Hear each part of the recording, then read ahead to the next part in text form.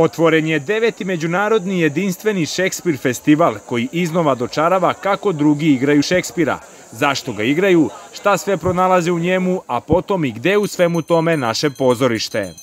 Što zaista je ovo neka predstava koja nije bila do sada na, na festivalu i ovaj drugačiji neki, druga, drugačiji neki stil pošto je danac je li u pitanju. A, ovaj, a one ranije predstave koje se, pošto da mi ovo dolazimo često na Šekspirov festival, e, prosto se odazivamo zato što je drugačiji ambijent, publika je drugačija i glumci imaju interakciju sa uh, ovaj publikom. Bila Stanković prvi put i posećujem, vidjet ćemo ovaj, dosta hvaljeni prostor, nekad zaključeni, sad otključeni za javnost, gledateljstvo, publiku, spoj kulture i, i ajmo reći, umetnost je na jednom mestu, vidjet ćemo da li opravdava očekivanja.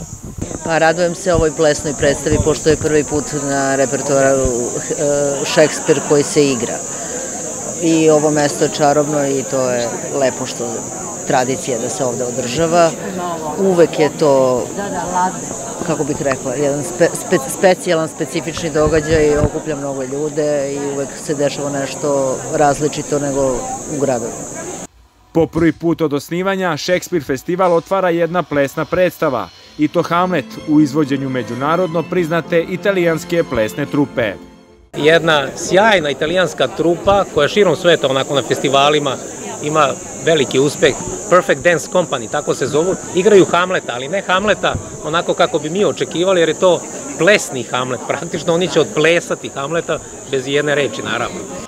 U okviru festivala u dva pozorišna poluvremena biće prikazano ukupno sedam predstava, i to četiri predstave u julu i tri u oktobru. Publici će se u ambijentu rezidencije Vila Stanković na glavnoj festivalskoj sceni predstaviti pozorišta iz Italije, Crne Gore i Norveške.